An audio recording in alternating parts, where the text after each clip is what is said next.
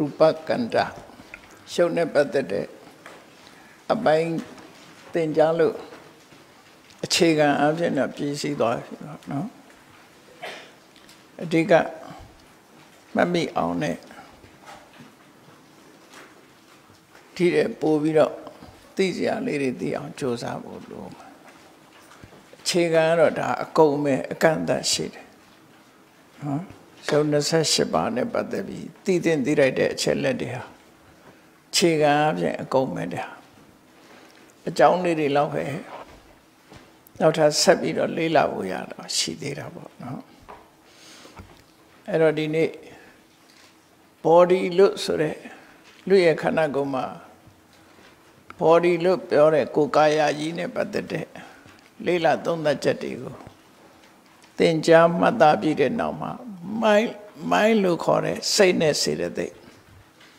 မိုင်းလို့ပြောလိုက်လို့ရှိရင်စိတ်ရောစေတသိက်ရောလို့ consciousness လို့ပြောရင်တော့စိတ်နဲ့ပဲသက်ဆိုင်ပြီးတော့ mental property လို့ပြောတာကြတော့စေတသိက်နဲ့ပဲဆက်ဆံအဲ့တော့စိတ်နဲ့စေတသိက်ခွဲပြီးတော့သင်တာဖြစ်ပေမဲ့လို့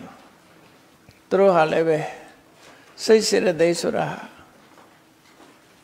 တူရတူရပေါင်းဆက်နေတဲ့အရာတွေသာဖြစ်တယ်ဆိုတာကိုအခြေခံအပြင်မှတ်သားထားစေရသိက်တိုင်းဟာစိတ်အားလုံးနဲ့တွဲတာမဟုတ်ပေမဲ့လို့စိတ်အားလုံးဟာစေရသိက်တဲ့နဲ့တွဲကြတယ်လို့တူတူပြောအောင်စိတ်ဆိုတာတော့တစ်ခုပဲရှိတယ်နော်စိတ်ဆိုတာတစ်ခုပဲရှိတယ်ထိုစိတ်တွေကိုစေရသိက်တွေကနေအယောင်ဆိုးပေးတဲ့သဘောပေါ့အယောင်ဆိုးလိုက်တဲ့အခါမှာ အဖြူတဲ့စိတ်ဆိုတာရှိရမယ်အဖြူတဲ့စိတ်အဖြူကိုအားပေးတဲ့အင်အားစုတွေစိတ်ရဲ့အညစ်အကြေးတွေကိုဖြစ်ပေါ်စေတဲ့အင်အားစုတွေဆိုပါစို့ဝင်းလက်နေတဲ့ကြည်ပြားတစ်ခုမှာဝင်းလက်စေတတ်တဲ့အရာတွေရှိတယ်လို့ပဲခြေညှိကိုတက်စေတတ်တဲ့အရာတွေလည်းရှိတယ် အဲ့ဒီကျင်းကြီးကိုတက်စေတတ်တဲ့အရာတွေကိုပုတ်ပြလိုက်လို့ရှိရင်သူကဝင်လက်တဲ့အကြောင်းပြန်ရမှာပဲစိတ်မှလည်းထို့တူပဲအငြိကြေးတွေဆွဲကတ်တဲ့အခါမှာရှိတယ်အဲ့ဒီအငြိကြေးတွေကလည်းစိတ်ပေါ်မှာမိဖြစ်လို့သူတို့လည်းစေတဲ့သိပ်ပဲသို့တော့အငြိကြေးတွေကိုဖယ်လိုက်တဲ့အခါမှာဝင်လက်တဲ့အနေအထားကိုတွေ့ရတယ်အဲ့ဒီဝင်လက်တဲ့အနေအထားလည်းစိတ်ပေါ်မှာမိနေတာဖြစ်တော့ကြောင်းသူတို့ဟာလည်းပဲစေတသိက်တွေပဲ ဖြူစင်ဝင်လက်စေတဲ့စေတသိက်တွေကတစ်မျိုးညှဉ်းနှွမ်းပြီးတော့ဒီအယောင်မှိန်သွားစေတတ်တဲ့စေတသိက်တွေကတစ်မျိုးလို့စိတ်မှလည်းပဲဒီတဲ့နားလဲအောင်ပြောမယ်ဆိုရင်ပင်ကိုစိတ်လေးဟာအဖြူတယ်ဖြစ်တယ်ပင်ကိုစိတ်လေးကိုအာကောင်းတန်သွားစေတမ္မာစေတတ်တဲ့ healthy mental state တွေကျမ်းမာစေတတ်တဲ့စိတ်စေတသိက်တွေလည်းရှိတယ်ယောဂဖြစ်ပွားသွားစေတတ်တဲ့စေတသိက်တွေလည်းဖြစ်ရှိတယ်ယောဂဖြစ်ပွားစေတတ်တဲ့စေတသိက်တွေကိုဖယ်ရှားလိုက်လို့ရှိရင်ကျမ်းမာတန်ဆွမ်းစေတဲ့စေတသိက်တွေနဲ့စိတ်ဟာတွဲဖက်ပြီးတော့စွမ်းအားတတ္တိတွေကိုအသုံးချနိုင်တယ်လို့ဒီလိုဆိုမှာပေါ့နော်စိတ်ရဲ့စိတ်နဲ့စေတသိက်ရဲ့သဘောကအဲ့ဒီပုံစံပဲပေါင်းဆက်နေကြမှာဖြစ်တယ် ပေါင်းဆက်ပုံ ပေါင်းဆက်နည်းကိုသင်ကြားရမှာကိုဟာပထမ analyze လုပ်ထားတယ်လုပ်ပြီးရင်ဘယ်လိုပေါင်းဆက်တယ်ဆိုတာကိုသင်တာဟာစိတ်ပိုင်းနဲ့စေတသိက်ပိုင်းရဲ့ဒီ apply method နဲ့လေ့လာကြပါဦးနှုတ်ဆိုရင် book knowledge က apply မလုပ်ဘူးဆိုလို့ရှိရင်လူတွေကစောက်ထဲဟာတွေလို့ထင်သွားတယ်အခုရုပ်ကိုလည်းပဲ apply လုပ်ဖို့လိုတယ် ကိုယ်ခန္ဓာကိုယ်ထဲမှာရှာတွေ့အောင်ရှာပေါ့ဒီသဘောလေးပြောတာဆိုတာလောကဝဟရတွေနဲ့တော့မရှာနဲ့ပေါ့သူ့ဝဟရနဲ့သူရှာလိုက်နော်ခုလောကိပညာရတဲ့မှာလည်းပဲဒီတိုင်းပဲလေအောက်ဆီဂျင်ဆိုတာဟိုက်ဒရိုဂျင်ဆိုတာဒီကောင်းရှာတာမှမဟုတ်တာပဲနော်ချစ်လက်ကောင်းဆိုတာဒီရှာတာမှမဟုတ်တာအဲ့ဒါလိုပဲသူဝဟရနဲ့သူရှာကြည့်လိုက်ပထဝီဆိုတာပဲဟာလဲအာဘောဆိုတာပဲဟာလဲ တို့ရဲ့ခန္ဓာကိုယ်မှာရှိနေတဲ့ဒါတွေအဲ့တော့ယုတ်တည်ရဲ့နာမည်ကိုကြည့်ပြီးတော့လူရဲ့ခန္ဓာကိုယ်မှာသိတဲ့သိလိုက်တာတွေကိုလက်တွေ့ရှာလို့ရတဲ့ဟာစိတ်နဲ့သိရမယ့်ဟာရှိတယ်မျက်စိနဲ့ကြည့်လို့ရတာရှိတယ်နှာခေါင်းနဲ့နှမ်းကြည့်လို့ရတာရှိတယ်နားနဲ့နားထောင်ကြည့်လို့ရတာရှိတယ်လျှာနဲ့လျက်ကြည့်လို့ရတယ်ထိတွေ့စံသက်ကြည့်လို့ရတယ်လို့ အဲ့ဒီအတိုင်းဉာဏ်နာကြတော့စိတ်နဲ့အသိစိတ်နဲ့ဉာဏ်နဲ့သိရမယ်အရာတွေကိုတည်းအဲ့ဒါလိုပဲသိရမှာဖြစ်တယ်ပေါ့အဲ့တော့ခုဒီနေ့စိတ်တုပ်ပါဒကန္တာစိတ်တုပ်ပါဒဆိုတာစကလုံးနှလုံးရှိတယ်စိတ်တာရဲ့ဥပ္ပါဒရဲ့စိတ်တာဥပ္ပါဒစိတ်ဖြစ်မှု စိတ်တာကစိတ်ဥပ္ပါဒကစိတ်နဲ့အတူဖြစ်လာတဲ့စေတသိက်တွေလို့ဒီလိုလဲအထိပ္ပယ်ရတယ်နော်စိတ်တာဥပ္ပါဒစိတ်ဖြစ်တာနဲ့ဖြစ်လာတဲ့အရာတွေကစိတ်နဲ့တွဲဖက်ပြီးဖြစ်လာ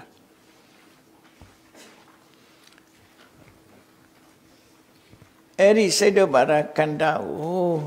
နှစ်ပိုင်းခွဲပြီးတော့လေ့လာမယ်ပထမစိတ်တဝိပါက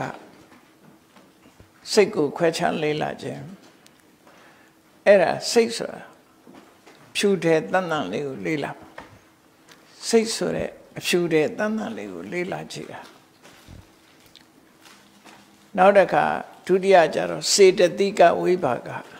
စိတ်ကိုဆွဲကပ်ပြီးတော့စိတ်နဲ့တွဲဖက်နေတဲ့အရာတွေကိုလေ့လာမှုဆိုပြီးတော့ဒုတိယပိုင်းမှာအဲ့လိုလာလိုက်မယ် အဲ့ဒီနှစ်ခုလေ့လာမှုကအကျယ်ဆုံးပဲပဋ္ဌာန်းကျမ်းကြီးဆိုတာလည်းဒီကသွားတာပဲအကုန်လုံးရှမိုက်ကျမ်းဆိုတာလည်းဒီကပဲသွားမှာပဲနော်အဲ့တော့ကိုယ်စိတ်ထဲမှာအလုံးကိုတရားဓမ္မတွေကိုခြုံငုံပြီးတော့ကြည်နေမြင်နေတဲ့ရှုခင်အပေါ်စီးကနေကြည်တဲ့ bird's eye view ပေါ့ ဒီသဘာဝတရားတွေကိုအပေါ်စီးကကြည့်နိုင်အောင်မှတ်ရမှာလေ့လာရမယ်သင်ရမယ်အပေါ်စီးကကြည့်တယ်ဆိုတာခြုံငုံကြည့်တတ်တဲ့အကြည့်ကိုပြောတာနော်အပေါ်စီးကနေပြီးတော့ခြုံငုံကြည့်နိုင်တဲ့အကြည့်မျိုးရအောင်နှုတ်မဆိုရင်ရုပ်ကတစ်မျိုးစိတ်ကတစ်မျိုးပေါင်းလို့မပေါင်းနိုင်ဘူးဖြစ်နေပေါင်းဆက်လို့မရပဲတဲ့ဖြစ်သွား အဲ့ဒါတွေဟာပေါင်းဆက်လှုပ်ရှားနေတယ်ဆိုအပေါ်စီးကကြည့်တတ်အောင်နောက်ကျရင်စုရုပ်ဆိုလဲအပေါ်စီးကကြည့်ရမယ်အစုလိုက်ပြန်ကြည့်နိုင်ရမယ်ရုပ်လို့ပြောလိုက်တာ ਨੇ အရေးပါတဲ့ဟာမှာပဲဥဆောင်မှုပေးတဲ့ရုပ်ရှိတယ်တွဲဖက်နေတဲ့ရုပ်တွေရှိတယ်ရုပ်မှလည်းနောက်လိုက်ရှိတယ်ခေါင်းဆောင်ရှိတယ်လူတွေမှလည်းခေါင်းဆောင်ရှိတယ်နောက်လိုက်ရှိတယ်ဘယ်ရပဲဖြစ်ဖြစ်ဥဆောင်တဲ့ဟာဆိုတာရှိ အလုံးဟာစုစည်းနေကြတယ်ဆိုအတိပ္ပယ်လေးပေါ်လာမှာနော်ကဲအဲ့တော့စိတ်တုပါဒကန္တစာမျက်နှာ33ကနေဒီနေ့စစိတ်တဝိပါကစိတ်ကိုခွဲခြားခြင်းဝိပါကဆိုဝိပန်ခွဲခြားတာဝိပါကဆိုတဲ့စကားလုံးနဲ့ဝိပိစဆိုတာ ਨੇ ရုချင်းတူတူပဲနော်ဝိပါကခွဲခြားဝေဖန်ခြင်း အင်္ဂလိပ်လို analysis analysis of consciousness analyze လုပ်တာ analysis of consciousness စိတ်တဝိပါကစိတ်တဝိပါကစိတ်ကိုခွဲခြားလေ့လာသုံးသပ်ခြင်းပေါ့နော်စိတ်ကိုခွဲခြားလေ့လာသုံးသပ်ခြင်းဒါပညာရက်တွေလို့စိတ်ထဲမှာအောင်မိတာစိတ်ကို စိတ်ဓာတ်ရဲ့အဓိပ္ပာယ်ကိုအရင်ကြည့်မယ်ပါဠိဘာသာစိတ်ဓာတ်ကိုမြန်မာဘာသာအားဖြင့်စိတ်ဟုခေါ်လိုက်သည်ဒါဘာသာပြန်တာမဟုတ်ဘူးစိတ်ဓာတ်ကိုစိတ်ဆိုတာဝါရတစ်ခုတီးထွန်းလိုက်တာဒါလည်းကောင်းတာပဲဗမာစာဖွံ့ဖြိုးတိုးတက်တာအမှန်တမ်းကောင်းတယ်နော်အင်္ဂလိပ်လိုပြောခြင်း consciousness ဗမာစိတ်အေးရောတလုံးနဲ့ပဲ ဘလောက်จิตလက်တုံးဆိုတာအဲ့ဒါစဉ်းစားကြည့်ပါနော်သူ့မှာ consciousness ဆိုအတန်တွက်တည်းများတယ် consciousness သုံးတန်ထွက်နေတယ် ဒီပမာစိတ်တစ်လုံးနဲ့ပဲပြီးသွားတယ်จิตလစ်တယ်ခေါ်တော့စကလုံးဟာจิตလစ်ရဗမာလိုပဲစ조사သင်ကြပါအင်္ဂလိပ်လိုသင်တာကိုအထင်မကြီးပါနဲ့အခုကနိုင်ရှင်ပြောတာလေးကတော့ သူတို့ဟာလည်းဒီလိုရှိတယ်ဆိုတာလေးသိအောင်တော့ပဲကိုပမာလိုနားလဲအောင်သင်ရမယ်နော်ဘယ်ဟာပဲဖြစ်ဖြစ် subject ကအဓိကဘာသာစကားဟိုဟာအင်္ဂလိပ်ဆိုတာဘာသာစကားတစ်ခုပဲတခြားဘာသာနဲ့လည်းရှိတာပဲတရုတ်လိုဂျပန်လိုကိုရီးယားလိုဂျာမန်လိုသူ့ဘာသာစကားတွေနဲ့သူရှိတာဒါ language နဲ့ subject matter ကိုခွဲခြား မြန်မာပြည်မှာရောထွေးနေတယ်အင်္ဂလိပ်လိုတက်ရင်အကုန်တတ်တယ်ထင်နေကြတယ်လူကများတယ်အင်္ဂလိပ်လိုတတ်တာနဲ့ပြီးတော့မှတတ်တာနဲ့မဆိုင်ဘူးเนาะမဆိုင်ဘူးအင်္ဂလိပ်လိုပြောတတ်ရင်ဗမာစကားနားမလဲတဲ့လူပြောလို့တော့ရအင်္ဂလိပ်စကားနားလဲပြီးဗမာစကားသူရောတေချာသိလားဆိုဝိုးတော်ပဲဝိုးတော်ဝတာပဲသိပါ ဥပမာတကူပြောမယ်တမာတိလို့ပြောလိုက်တဲ့စကားလုံးဟာအမှန်တမ်းချစ်လက်တယ်ဗမာလို့ပြောမယ်ဆိုရင်တမာတိကိုတည်ငြိမ်မှုလို့လည်းပြောလို့ရတယ် literal meaning နဲ့တမာတိဆိုတဲ့အတိုင်း literal meaning နဲ့ပြောမယ်ဆိုရင်စိတ်ကိုအာယုန်တစ်ခုတည်းပေါ်မှာတည်ငြိမ်အောင်ထားခြင်းဆိုတဲ့အဓိပ္ပာယ်ရတယ်အဲ့ဒါကိုအင်္ဂလိပ်ကျတော့ concentration လို့ပြောလိုက်တယ် concentration ဆိုတာအများကြီးပဲလေလူတွေတနေရာစုတာလဲ concentration ပဲလေ concentrate လုပ်တာလေဒီအစားအသောက်တစ်ခုတည်းမှလည်းပဲတစ်ခုတည်းကိုစုလိုက်တာလေဒါ concentrate လုပ်ထားတယ်လို့ပြောတာပဲလေအဲ့တော့သူကသိကြတာမဟုတ်ဘူးသိကြတာမဟုတ်ဘူးဒါကြောင့်မို့တမာတိဆိုတာစကလုံးသုံးလုံးတည်းနဲ့တိကောင်းကောင်းသိသွားတယ်ပေါ့နော် တမာတိဆိုကဲဟုတ်ပြီပါဠိဘာသာစိတ်ဓာတ်ကိုမြန်မာဘာသာအားဖြင့်စိတ်ဟုခေါ်၏အာယုံကိုတိတတ်ဒါလေးကတခုနော်အာယုံကိုတိတတ်သူ့ရဲ့သဘာဝတိတယ်ဆိုတာဘာလဲกว่าလို့မေးလို့ရှိရင်ယာယုတတ်ဟောအာယုံကိုရတာတိတယ်ဆိုတာအာယုံကိုရရှိခြင်းပဲလက်ခံရရှိခြင်းလို့ဆို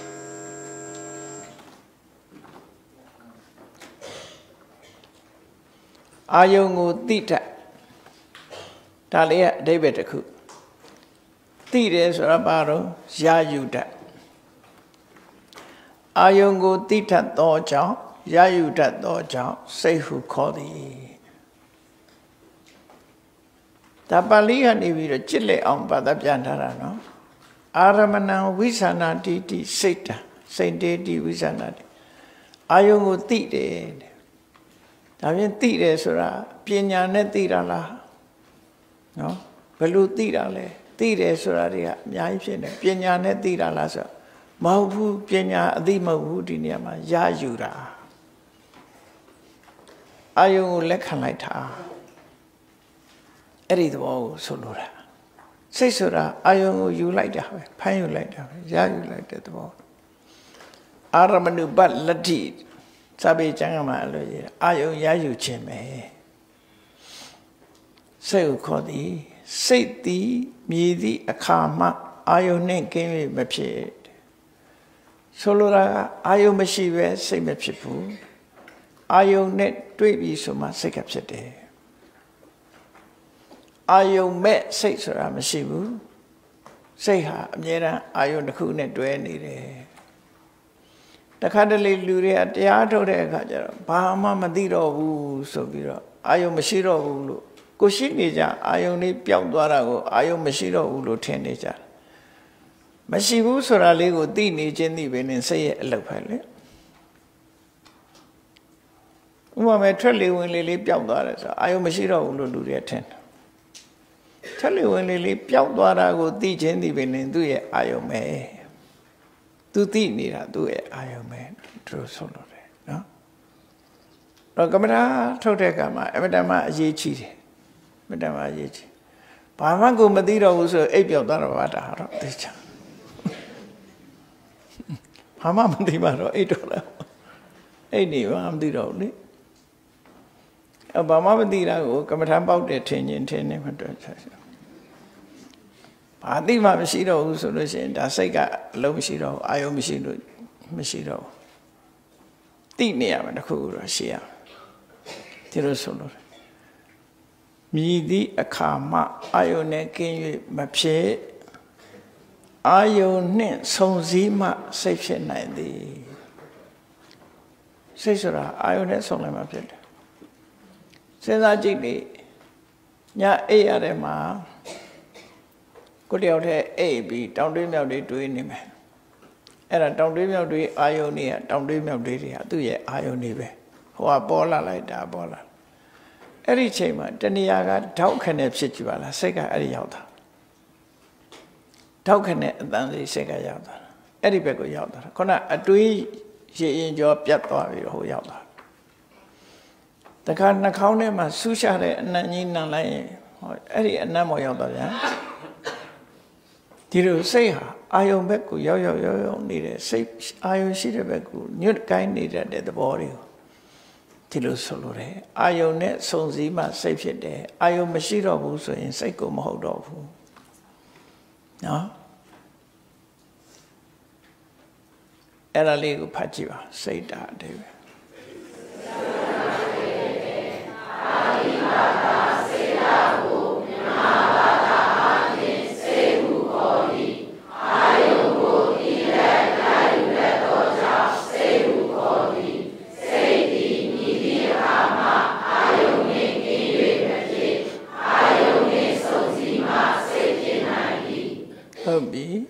စိတ်ရဲ့တဘာဝကိုပြောပါဆိုရင်အာယုံကိုသိခြင်းဟာစိတ်ရဲ့တဘာဝ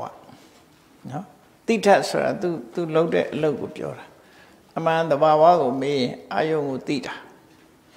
အာယုံကိုသိတဲ့တဘာဝသည်စိတ်ရဲ့တဘာဝသိတယ်ဆိုတာဘာလဲအာယုံကိုရယူတဲ့တဘာဝဟောအဲ့ဒါလို့ခေါ်စိတ်သည်အာယုန်နဲ့ကင်း၍မြည်သည့်ခါမှာမဖြစ် အာယုန်နဲ့တွဲဖက်ရမှာစုံစည်းရမှာဒါဖြစ်သည်ဒါစိတ်နဲ့ပတ်သက်တဲ့အခြေခံလေးကိုသိအောင်လုပ်ဖို့နော်မြတ်စွာဘုရားဟောတာလေးတွေရှိတယ်ဒါအကျဲချက်ပြောမယ်ဆိုရင်သူအကျဲတယ်နော်မြတ်စွာဘုရားကပပတရမိဒံဘိက္ခွေစိတ်တံစိတ်ဆိုတာအဖြူတဲ့တတ်တတ်ဖြစ်တယ်သူ့ပင်ကိုအယောင်လေးနဲ့ရှိတယ်ဒါတင်စားပြောတာအယောင်ဆိုတာဟိုလိုအယောင်ပြောတာမဟုတ်ဘူးเนาะ ဘာနဲ့မှမရောတာကိုပဲဟိုတောက်ပါတယ်လို့ပြောကြတာတချို့ဘာအယောင်နဲ့မှဘာမှအယောင်မချဲသေးတဲ့အဖြူတဲ့တတ်တတ်ဖြစ်တယ်တင်စခောအာဂနုကေဟိဥပကိနေတေဟိဥပကိလေတံအဲ့ဒီစိတ်ကလေးဟာတခြားကရောက်လာတဲ့အညစ်အကြေးတွေနဲ့သူကညှဉ်းနှွမ်းသွားရတယ်လို့သူတို့ဟောတာနောက်တစ်ခုကျတော့တင်စခော ဒီအဂနုကေဟိပရိတုတ်ဥပကိလေတေဟိပရိတုတ်တံအဲ့ဒါတွေကနေတန့်စင်သွားတယ်ဆိုလိုတာကအလွန်ကြည်လင်းနေတဲ့ပစ္စည်းလေးတစ်ခုဝင်းလက်နေတဲ့ပစ္စည်းလေးတစ်ခုပေါ်မှာအမုံနေအမုံနေကြာရင်ကြာရင်နဲ့ညစ်သေးသွားတယ်လို့ပဲစိတ်ဟာလည်းပဲငကွာဖြူ ဝင်းလက်နေတာအဲ့ဒီပေါ်မှာဟိုကဝင်လာဒီကဝင်လာဝင်လာတဲ့ဟာတွေနဲ့ညှဉ်းနှွမ်းသွားတယ်အဲ့ဒါတွေဖယ်လိုက်ရင်ပဂတိစိတ်ပြန်ဖြစ်တယ်အဲ့ဒီသဘောကိုပြောတာနော်ကဲဒါစိတ်ရဲ့သဘာဝကိုသိပြီပပတရမိဒံဘိက္ခွေစိတ်တန်လို့မြတ်စွာဘုရားဟောတာရှိတယ်နော်ဘဝင်စိတ်လေးကိုရည်ညွှန်းပြီးတော့ပြောတာပင်ကိုစိတ်လေးဟာဘာနဲ့မှမရောသေးတဲ့အခါအဖြူတဲ့တတ်တတ်ဖြစ်တယ် စိတ်အမျိုးမျိုးတဲ့စိတ်မှန်သမျှကိုအာယုံကိုစိတ်မှန်သမျှအာယုံကိုသိခြင်းတဘာဝလက္ခဏာအဖြစ်တူကြ၏ဘယ်စိတ်မေ့မေ့သူ့ရဲ့လက္ခဏာကတော့အာယုံကိုသိတာအကြည့်ပဲဘယ်စိတ်ပဲဖြစ်ဖြစ်အာယုံကိုသိမှုကိုစွန့်လွတ်လိုက်တယ်ဆိုတာတခုမှမရှိဘူးနော်စိတ်မှန်သမျှအာယုံကိုဖန်ယူတာလေးကြည့်ပဲ သို့တော့စိတ်ကိုရှုတော့အမျိုးမျိုးမှကြည့်၍အမျိုးမျိုးခွဲနိုင်၏ရှုတော့မျိုးစုံနဲ့ခွဲလိုက်မယ်သူကနော်နှမျိုးခွဲပြတာရှိတယ်ရှုထောင့်တစ်ခုနဲ့ခွဲတာသုံးမျိုးခွဲပြတာရှိတယ်လေးမျိုးခွဲပြတာရှိတယ်နောက်လေးမျိုးခွဲတဲ့အခါမှာဘုံအပြင်ခွဲတာရှိတယ်မျိုးဆက်အပြင်ခွဲတာရှိတယ်တဲ့ကဲအဲ့ဒါလေးတွေဖတ်ကြည့်လိုက်ရင်သိပါ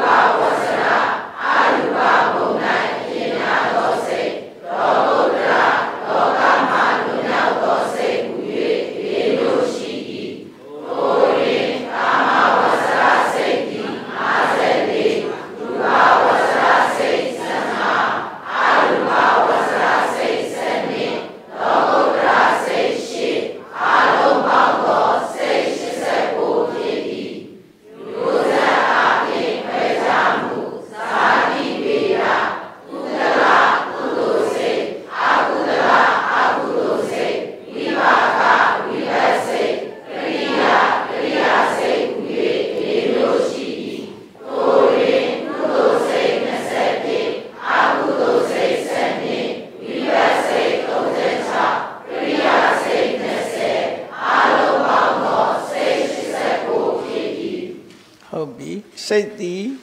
လက္ခဏာအဖြစ်တစ်ခုတည်းပဲရှိတယ်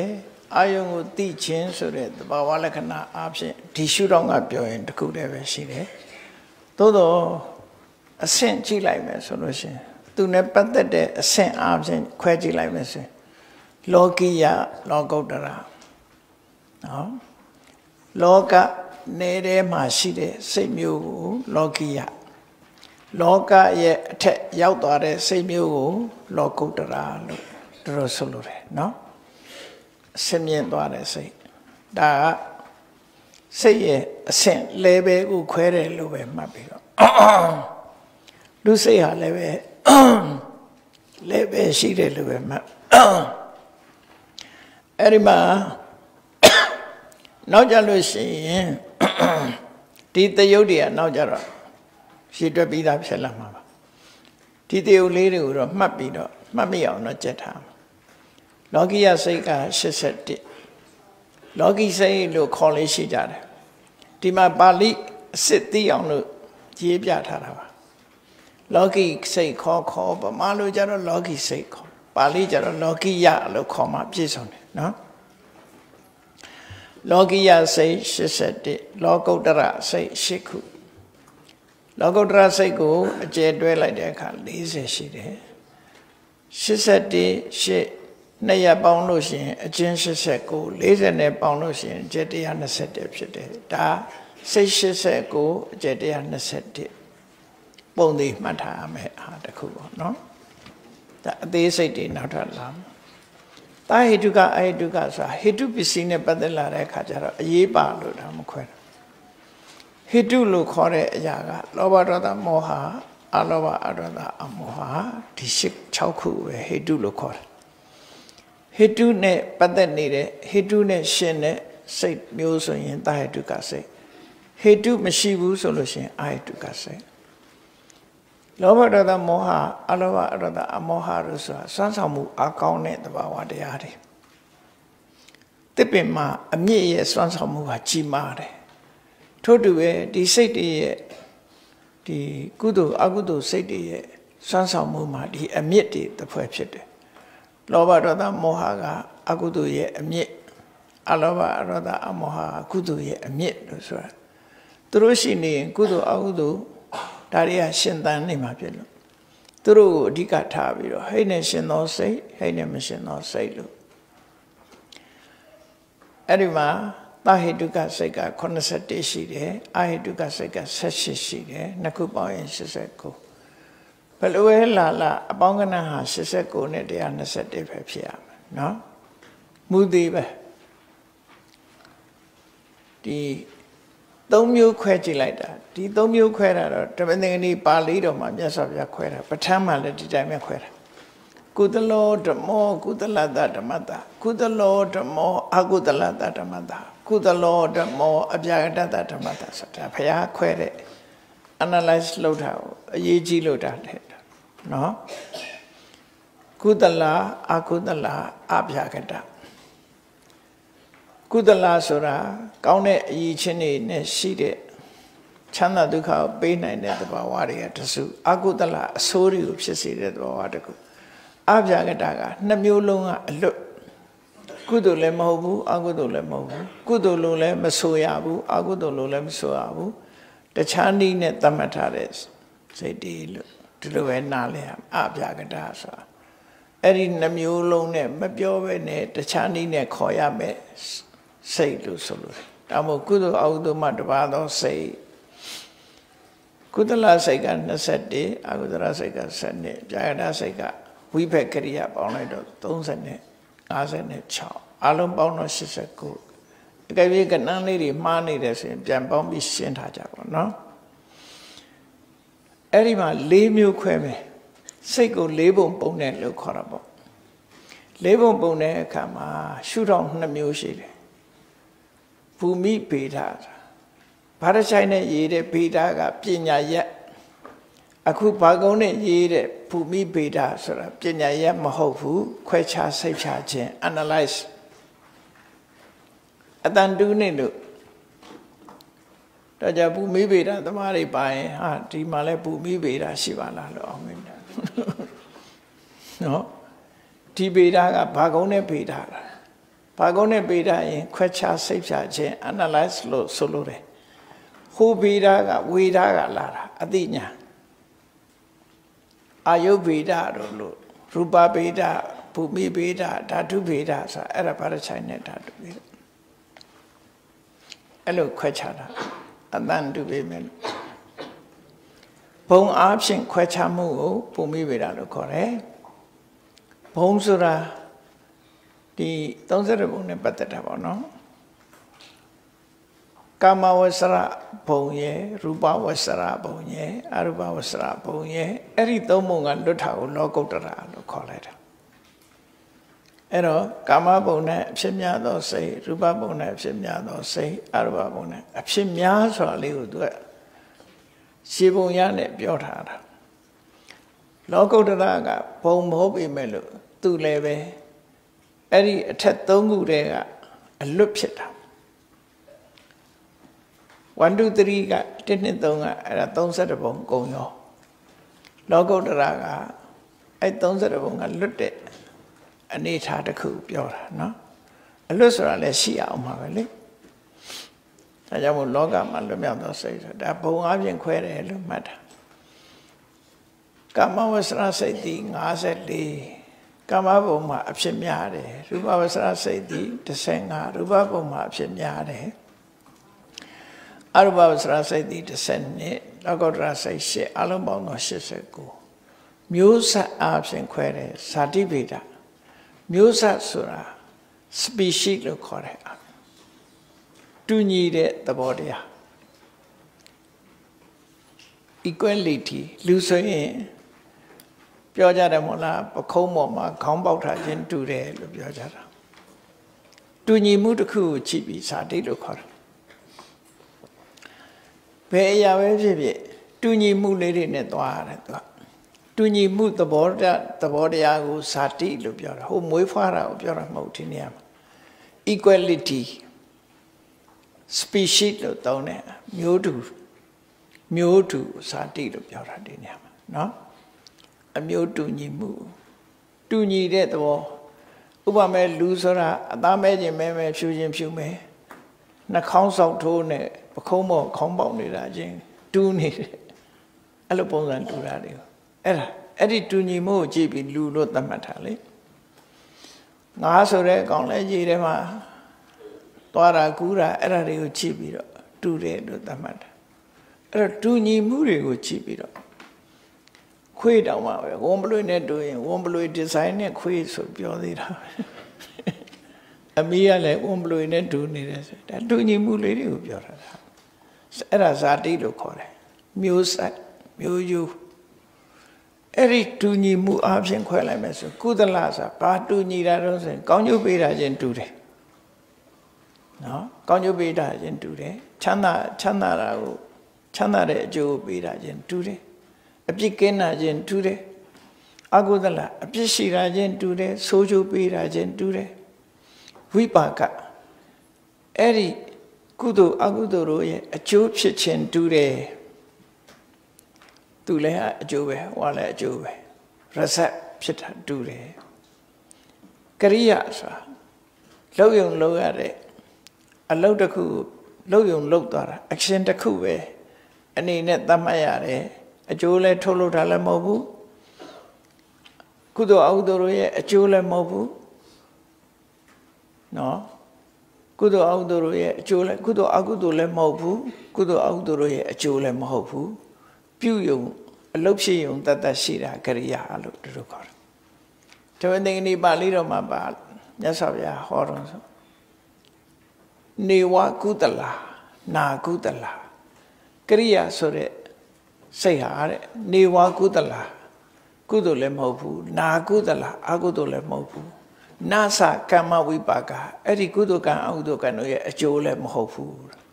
3 negative နဲ့ပြောတယ်နော်အဲ့ဟာရဲ့အလွတ်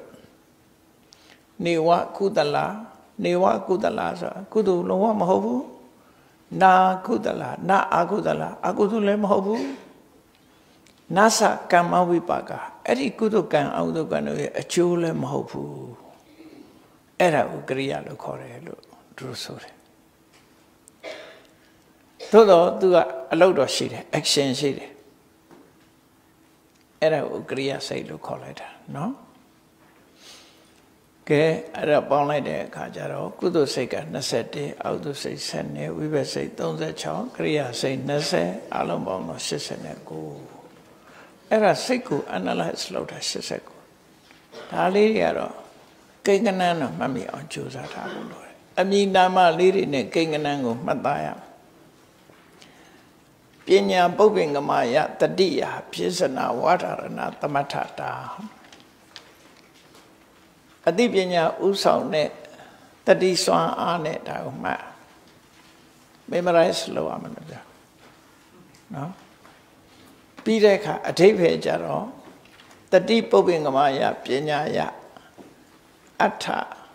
ဌဓာရဏသမထအဋ္ဌပฏิဝေရသမထတာတတိဥဆောင်တဲ့ပညာနဲ့အထိပ္ပယ်ကိုနားလည်ရမယ်အဲ့တော့သင်ရမယ်မှတ်ထားရမယ်စဉ်းစားရမယ်စဉ်းစားတဲ့အဆင့်ကိုမလစ်ဟင်းစေနဲ့သင်ယူခြင်းမှတ်သားခြင်းစဉ်းစားခြင်းအဲ့သုံးခုနဲ့ သူစီပူပါဝိလိတိတာဆိုတာသိနေကြတာပါပဲ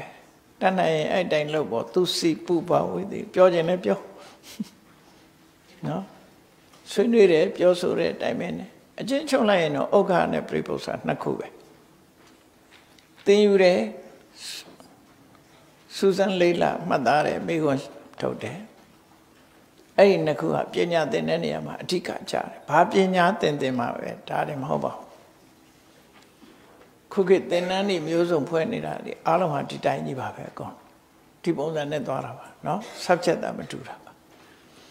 အဲ့ဒါနဲ့မသွားဘူးဆိုလို့ရှိရင်မအောင်မြင်နိုင်ဘူးသင်္นานနေဘလောက်ဖွင့်ဖွင့်เนาะသင်္นานဖွင့်ပြီးစုစားပြီးပြန်သွားကြမှာပါ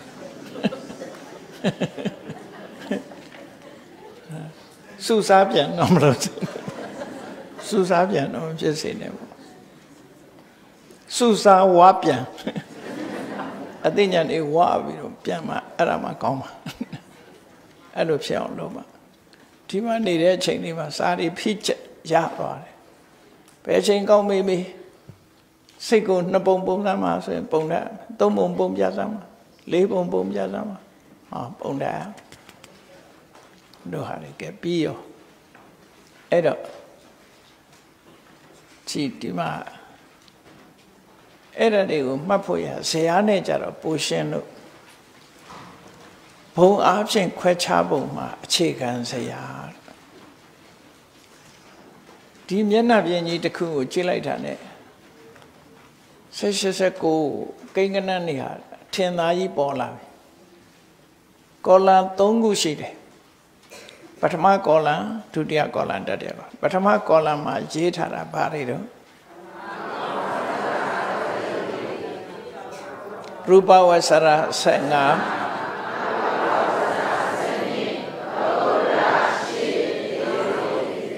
ကဲလောကုတ္တရာစိတ်ရှစ်အကျယ်40အဲ့ဒါဒီပထမကောလံကိုမှတ်မိအောင်လုပ်တာနော်ကာမဝဆရစိတ်ကဘယ်လောက်ရူပဝဆရစိတ်ကအရူပဝဆရစိတ်ကလောကုတ္တရာစိတ်အကျဉ်းကအကျယ် ဟုတ်ပြီအဲ့ဒီပထမကောလံကိုရအောင်လုပ်လိုက်ပြီမှတ်မိသွားပြီပထမကောလံကိုမှတ်ထားဖို့ပထမကောလံမှတ်ပြီးတဲ့အခါမှာသူဆိုင်ရာဆိုင်ရာကိုကြည့်လိုက်ဒုတိယကောလံကြည့်ရင်ရူပဝဆရစိတ်မှာ15ဖြစ်ပုံလေးကိုအောက်ကနေပြီးတော့စပြောမယ်ဟိုကနည်းနည်းကောလံတစ်ခုပိုးနေတယ်ကာမဝဆရစိတ်ကြကောလံတစ်ခုပို့တယ်နော်ရူပဝဆရအရူပဝဆရလောကုတ္တရာကြတော့နှစ်ကောလံနဲ့နဲ့ပြီးသွားနော်အဲ့ဒါလေးကိုကြည့်လိုက် ရူပဝဆရစိတ်15လို့ဆိုဘယ်လို15ဖြစ်တာတုံးဆိုကြည့်ကုသလငါဝိပါကဟောသူကသူ့ရဲ့ဟိုဆောင်ရွက်တဲ့ပုံတရံကိုကြည့်ပြီးတော့ကုသိုလ်ဆိုတာကံတရားကံဖြစ်ဆောင်ရွက်တယ်အဲ့ဒီကုသိုလ်ရဲ့အကျိုးကိုဝိပါကအဲ့ဒီနှစ်ခုကလွတ်တာဥကရိယဟုတ်လား ရူပဝဆရစိတ်15ခုပေါင်းဆက်ထားပုံကတစ်ခုကအကျိုးထုတ်လို့မဲ့အကြောင်းတရားအကြောင်းတရားက5ခုအကျိုးတရား5ခုအကြောင်းအကျိုးကလွတ်နေတာက5ခုဟောကဲရှင်းတော့ဗလားအဲ့ဒါဒါ analyze လုပ်တယ်ဆိုဒီပုံစံနဲ့ analyze လုပ်မှာနော်15ဖြစ်တာအဲ့ဒါကြောင့်15ဖြစ်တယ်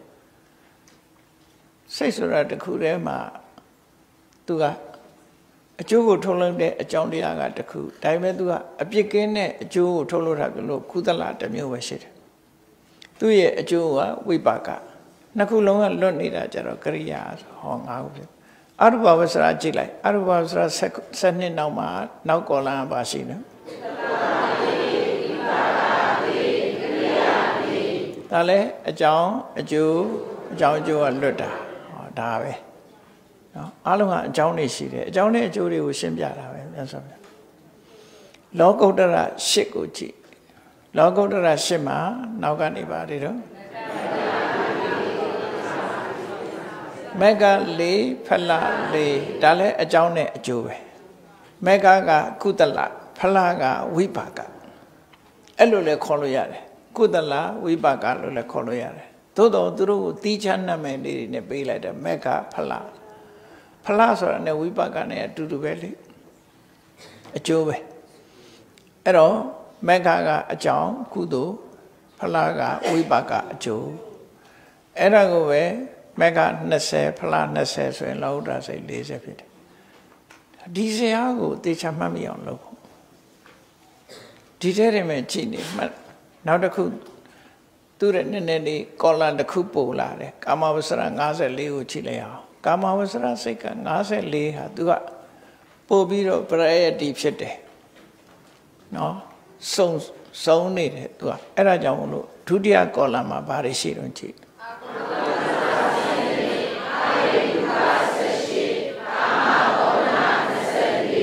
ဟောအမျိုးမတူတာတွေသူကခွဲခြားလိုက်တာ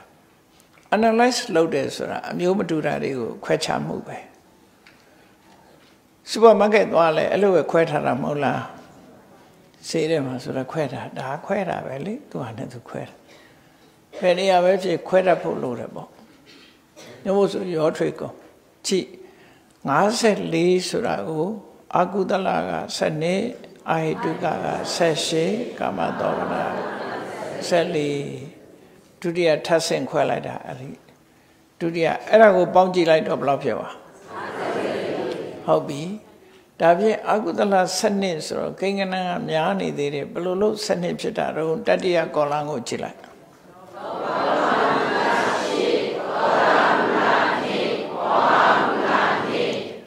လောဘကိုအခြေခံဖြစ်တဲ့စိတ်က၈ခုရှိတယ်တဲ့လောဘကတော်တော်ကြီးတာဟုတ်ဒါမလို့၈ခုတောင်ရှိတယ်သူကနော်လောဘကကြီးလွန်အောင်ကြီးလို့၈ခုဖြစ် လောဘကိုအခြေခံတာ၈ခုဒေါသကိုအခြေခံတာကနှစ်ခုမောဟကိုအခြေခံတာနှစ်ခုရှေ့ရနှစ်နှစ်ရပေါင်းလိုက်တဲ့အခါ7နှစ်ဟောဒါသိရင်အောက်သို့စစ်12ခုဆိုပြီးသွားတယ်အတော်ကိုအသေးစိတ်လာပြီလို့ပြောတာเนาะဒါကိုအရင်သိအောင်လုပ်ပြီးတော့အဟိတုကဟိတ်မရှိတဲ့ဟိတုမပါတဲ့ဟိတုပစ္စည်းနဲ့ခြေစုပြုတ်မခံရတဲ့ စိတ်လို့ဆိုလို့တယ်အဲ့ဒါဘယ်လောက်ရှိတာတော့အဲ့ဒီဆက်ရှိကိုနောက်ကနေပြထားတာပါတော့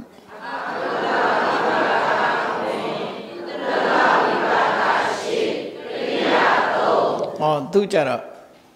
အာယတုကစိတ်ကြတော့ကြည့်လိုက်သူကအကျိုးနဲ့အကျိုးမဟုတ်တဲ့စိတ်ပဲဒါပဲပါတယ်အကြောင်းမပါဘူးဒါမို့အာယတုကဆိုတာသူကတတ္တိသိမ့်မရှိဘူးဆိုရင်တတ္တိသိမ့်မရှိဘူးအင်အားနည်းတယ် ဟိတုဆိုတာတပင်ကြီးတပင်ရှင်သန်နေဖို့ဆိုတာအမြင့်ကရေတောင်မြင့်ကအဓိကကြာတယ်လေအဲ့ဒါလိုပဲစိတ်တွေရှင်သန်နေဖို့ဆိုတာလောဘဒေါသမောဟအလောဘဒေါသမောဟတွေဟိတုတတ္တိနဲ့ခြေစုပြုခံရတယ်ဟိတုရဲ့စွမ်းအားတတ္တိဟာကြီးမားတယ်အဟိတုကစိတ်ကြတော့အဲ့ဒီကုသိုလ်အကုသိုလ်ဆိုတာမပါတော့ဘူးကုသိုလ်ရဲ့ရစအကုသိုလ်ရဲ့ရစဒါပဲရှိတယ်เนาะပြီးတော့ကရိယာ အကုသိုလ်ရဲ့အကျိုးက9ခုကုသိုလ်ရဲ့အကျိုးက10ခုကရိယာက3ခုအဲ့ဒါအဟိစေ18ခုဖြစ်သွားတယ်နောက်တတိယကိုကြည့်လိုက်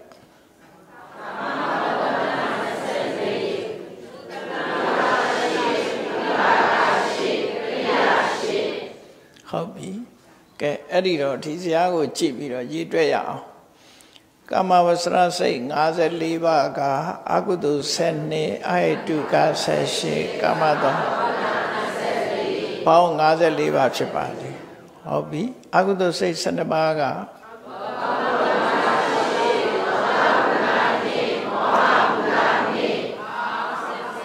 ပေါင်း12အာယတုကစိတ်18ပါးက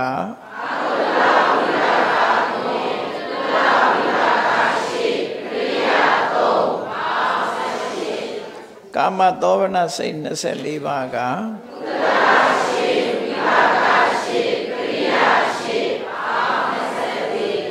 ဟောဒီစရာကြည့်လိုက်လို့ရှင်စိတ် analyze လောက်တာကိုဒါလေးပဲကြည့်ရုံပဲကာမသောဝနာကာမစရစိတ်54ပါးဆိုရင်ဒုတိယကောလနဲ့ပေါင်းမယ်အောက်သို့စိတ်12ပါးဆိုရင်တတိယကောလနဲ့ပေါင်းမယ်အာယတုက78ကတတိယကောလနဲ့ပေါင်းမယ်ဟောပေါင်းကြည့်လိုက်လို့ရှင်စိတ်89မှတ်မိသွားပြီနော် မှတ်မိအောင်လုပ်ရမှာနော်ဒါဟုတ်ပြီမျိုးဆက်အားဖြင့်နောက်ကဘူမိဗေဒအားဖြင့်ခွဲတဲ့အခြေခံစရာလေးကိုကြည့်ပြီးခွဲပြီးမျိုးဆက်အားဖြင့်ခွဲတာကြည့်လိုက်ပထမကောလမ်မှာဘာရှိတော့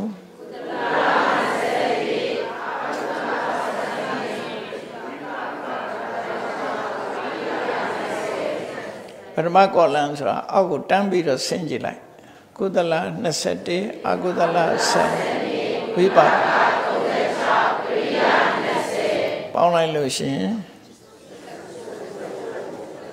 ခုခုနတုန်းကဆိုပြီးသားနော်ခဏနေအမျိုးမျိုးမထွက်ချင်နဲ့နော်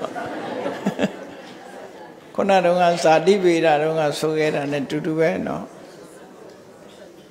ကိကနန်ထဲတာခုနကုသိုလ်စိတ်21အောက်သိုလ်စိတ်7ဝိဝေစိတ်36ကရိယာစိတ်20အလုံးပေါင်းတော့89ဆိုအဲ့ဒါပဲလေအဲ့ဒါပဲအသက်မဟုတ်ဘူးဟောင်းနေကြီးပဲလာနေပြီနော်အဲ့ဒါကပထမကောလန်တန်းတန်းကိုကြည့်လိုက်တဲ့အခါကျတော့အဲ့ဒါလည်း89ပဲ နောက်ကုသိုလ်စိတ်21ကိုရည်ခြင်းသူနဲ့တဲ့တဲ့ရှည်တွက်ချင်လို့ရှိရင်ကုသိုလ်စိတ်21ခုကရူပဝေ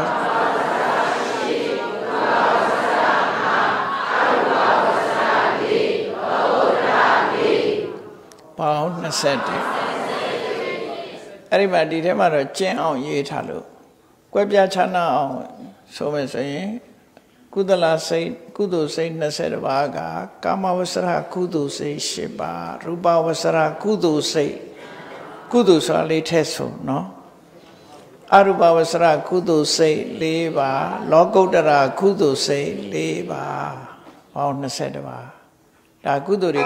ကုန်ပြီနော်ကုသိုလ်တွေကုန်ပြီနော်ဟုတ်ပြီ အောက်သို့စိတ်12ပါးလေကြည်တွက်ကြည့်လိုက်ပါဦး